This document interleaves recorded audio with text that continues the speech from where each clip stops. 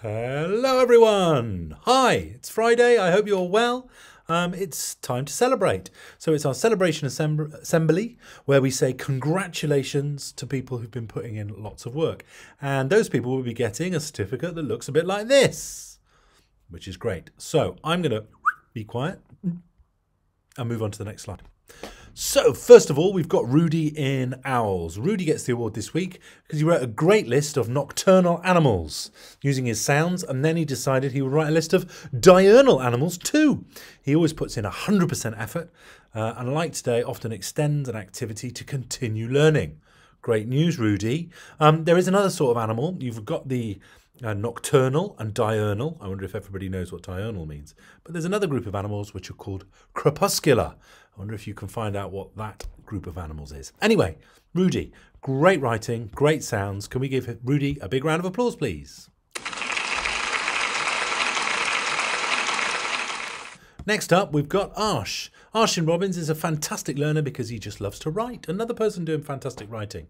He loves to practice his handwriting and his pencil grip is really improving. Look at all the mms on the on his whiteboard that he's written. He enjoys making books and writing interesting stories. That's amazing. Can we give Arsh a big round of applause, please? Next up, we've got Adam. Adam in Blackbirds. He's been working so hard since the start of term and can now write his names and some CVC words. A CVC word is a word like dog or cat.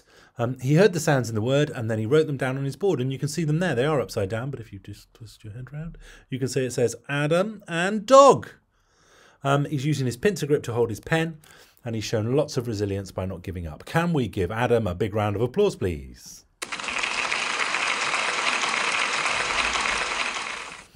Moving on, and we've got Ava in Chaffinches, and she's been working really hard in handwriting sessions to improve what's called her precursive handwriting.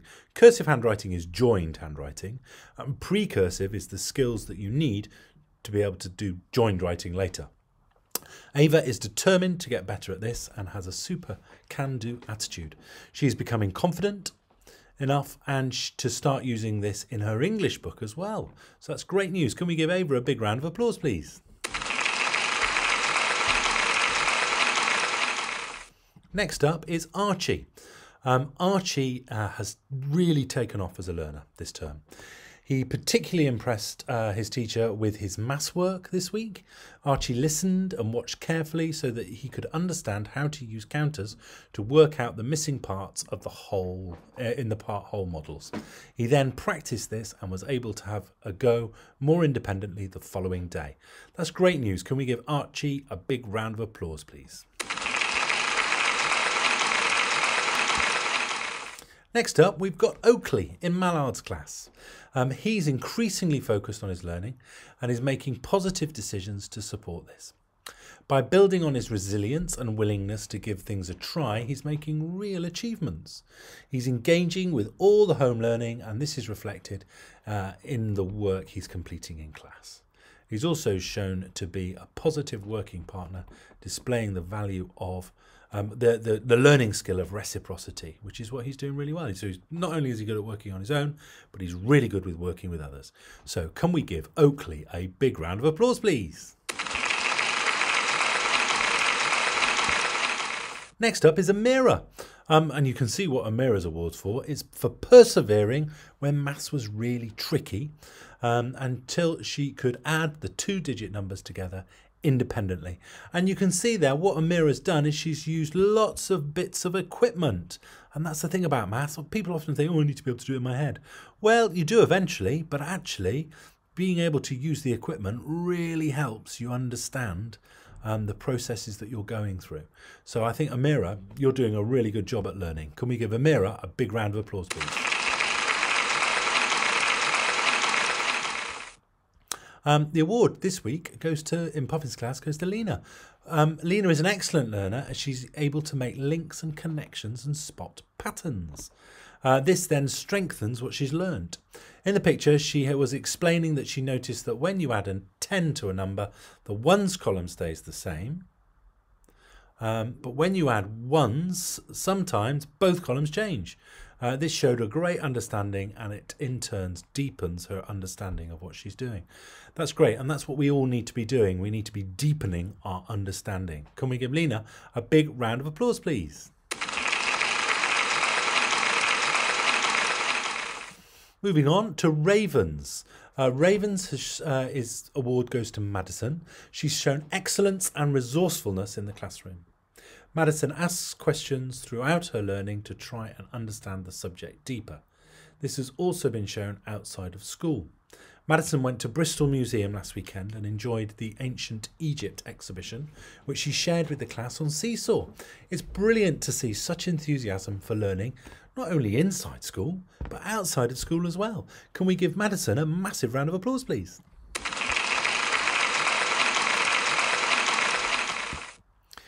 Uh, in Buzzard's class, we've got Omar.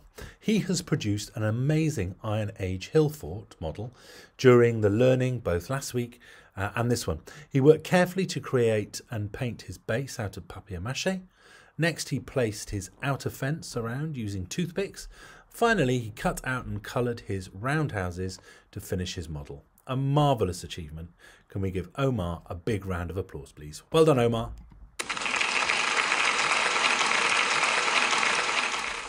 In Swifts this week, the award goes to Sarah.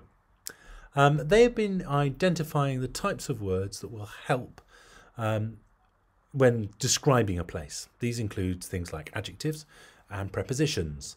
Um, prepositions are where are words that tell you where something is, and adjectives are describing words. Sarah has shown reflectiveness by taking her time and thinking about what she's learned. As a result, she's written a great setting description, which doesn't tell me what the place is like. Instead, it shows um, shows what it's like, and that's great. And um, yeah, brilliant. Can we give uh, Sarah a big round of applause, please? Well done.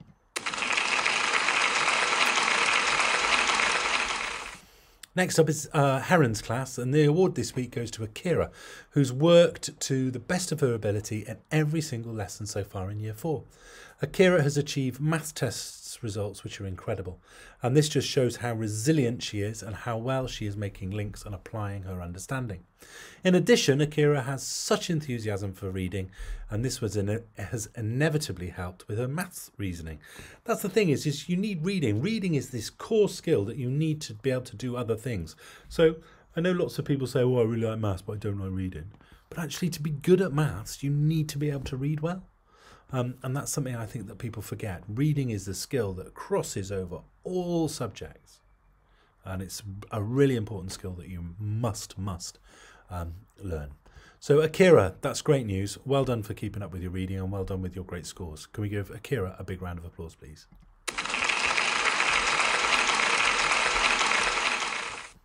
Next up, I've got Aria um, in Starling's class. She has been an excellent learner because she's been demonstrating her resourcefulness in her writing.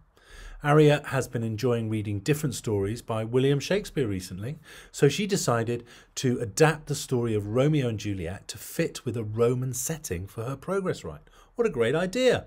Um, Mr. Mercer has loved hearing about her reading at home, and it's brilliant to see her taking inspiration from other writers. William Shakespeare, quite an important writer as well.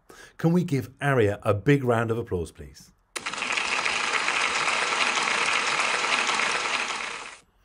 In Goldcrest this week, the award goes to Ty. Um, she gets the award for reciprocity, being like Arbot 4. Part of being reciprocal, don't know if I said that right, Reciprocal, that's the word, sorry. Part of being reciprocal is discovering how others think and feel and picking up their good habits. Uh, Tay wrote a short story inspired by her studies of Pompeii, and we can clearly see how being a regular, enthusiastic reader enables her to use features of good writing. For example, a good opener on one peculiar day, she wrote. Speech punctuation and short, dramatic sentences.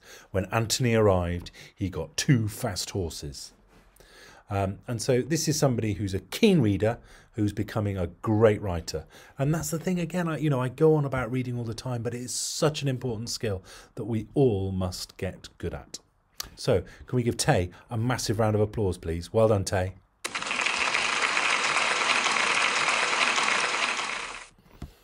So, um, in Dove's class, the award goes to Jasmine. Uh, both Miss Shaw and Mrs. Long were so impressed with her determination and effort with her progress write this week. She took real care over her work. Her presentation and organisation are an example for others to follow. She's also got some brilliant creative ideas and great vocabulary choices to describe the imaginary creature for this non chronological report. Like the creature lives in a castle on the top of a hill overlooking the forest at the bottom. That's a great word. Uh, she should be really proud of herself because her teachers are. So well done, Jasmine. Big round of applause, please.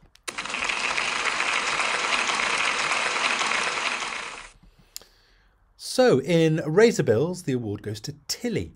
Um, and Tilly gets the award because of her wonderful focus and resilience in English. Um, they've been working on including relative clauses in their writing to stretch our writing and make our sentences more complex. Tilly found this tricky at first, and that's great because whenever you try something new, it is always a bit tricky. But because of Tilly's resilience and ter- determination when they practiced, she is now including relative clauses in her writing beautifully. She also practiced writing complex sentences at home and shared them on Seesaw, which was, again, great to see. This is brilliant. Can we give Tilly a big round of applause, please?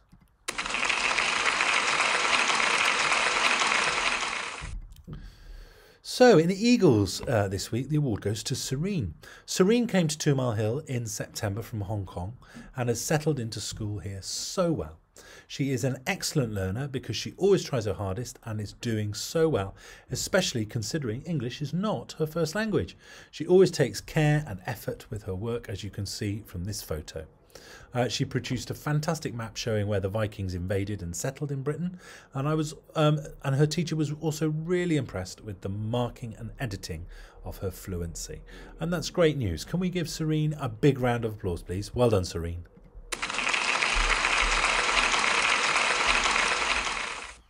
The award in Sandpiper's class this week goes to Pablo. Pablo deserves the award this week for his continued effort and positive attitude to his learning. Uh, and this is a real tribute. Well done, Pablo, because what Pablo is doing is, is he's demonstrating integrity. He's showing that he knows what the right thing to do is and he's doing it. Um, Pablo works hard to stay focused and complete the work set in the time given. He also ensures that he contributes to class discussions and often poses thought provoking questions when we are reading our class book. And that's great news, Pablo, because that's a, a, real turnaround. So, can we give Pablo uh, a big round of applause, please? Well done, Pablo.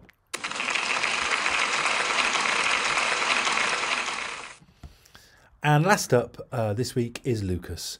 Uh, Lucas gets the award because he's fitted in so well in Magpie's class.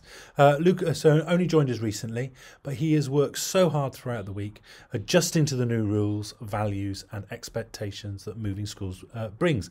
Um, I would say that this really demonstrates that Lucas has a, is, is full of respect because he's come to somewhere new and he's he's respecting our systems, he's respecting the way that we do things, and he is becoming uh, an amazing Two Mile Hill pupil himself. So keep up the hard work, Lucas us uh, and welcome to Two Mile Hill. We're so happy to have you here with us uh, and long may it last. Can we give uh, Lucas a big round of applause, please?